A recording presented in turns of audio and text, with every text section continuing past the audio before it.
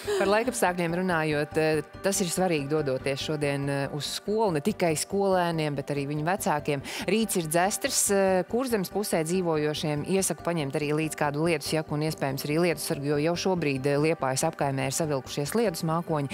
Bet dienas laikā būs arī saulēni brīži, bet to lietus sargu un lietus mēteli šodien noteikti nekur tālu nevajag nolikt. Un arī visai brāzmēns vējš, bet par visu pēc kārtas.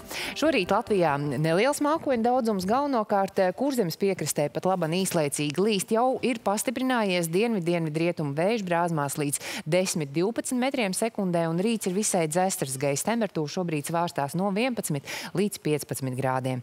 Dienas pirmajā pusē vairāk mākoņu un nokrišņu koncentrēsies kurzemē, bet dienas gaitā nokrišņu zona virzīsies arī uz valsts centrālo daļu.